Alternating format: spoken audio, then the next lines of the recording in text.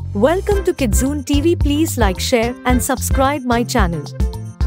Dinosaurs were a diverse group of reptiles that lived millions of years ago and are now extinct.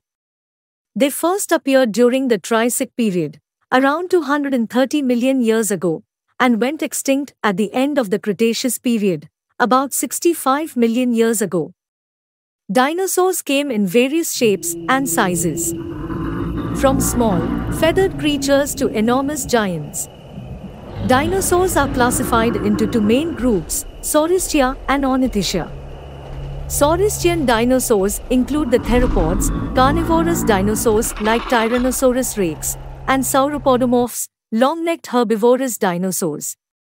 Ornithischian dinosaurs comprise a wide range of herbivorous species, including the Triceratops and Stegosaurus.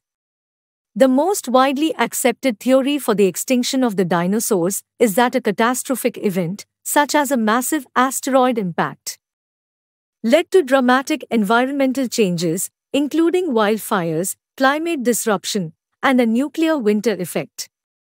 These factors are believed to have caused the mass extinction event known as the Cretaceous Paleogene KPG extinction event, which wiped out most dinosaurs and many other forms of life.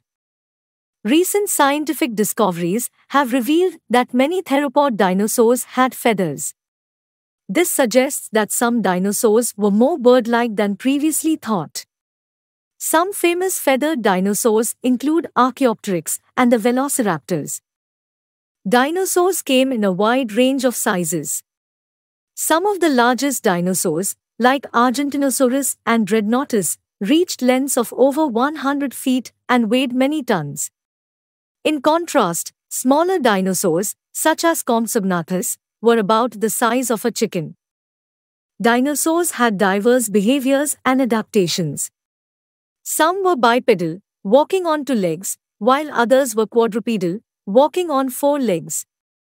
They displayed various feeding strategies, from herbivorous grazing to carnivorous hunting. Our knowledge of dinosaurs is primarily based on the study of fossils. Fossils are the preserved remains of ancient organisms, and they include bones, teeth, tracks, and even soft tissues under certain conditions. Some of the most famous dinosaurs include Tyrannosaurus rex, Triceratops, Brachiosaurus, Stegosaurus, and Velociraptor. These dinosaurs have captured the public's imagination and are frequently featured in books, movies, and other forms of media.